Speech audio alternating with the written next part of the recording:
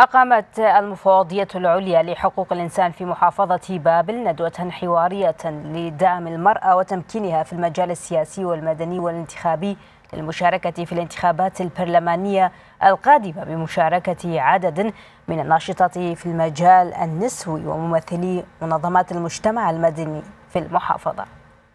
هي معنية بالحقوق السياسية والاقتصادية للمرأة. المفوضية رصدت من خلال عملها خلال الفترة السابقة. هناك ضعف في التمكين السياسي للمرأة وهناك ضعف أيضا في التمكين الاقتصادي للمرأة مما أدى إلى ضعف المشاركة السياسية للمرأة. لعدة أسباب كثيرة سواء كانت أسباب اقتصادية أو سياسية أو اجتماعية أو تشريعية أو دينية أو حتى عادات وأعراف.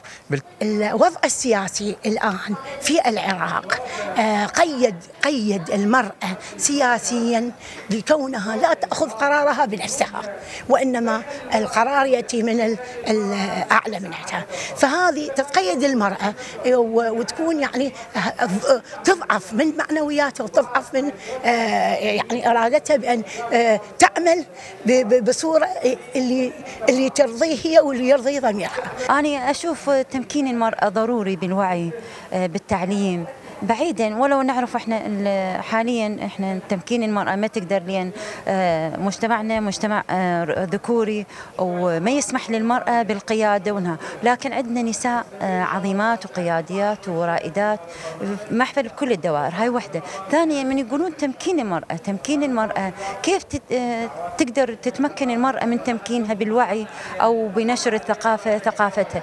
إذا أكو تعيينات تتعين المرأة حاليا من تتعين؟ إذا هي قانونية.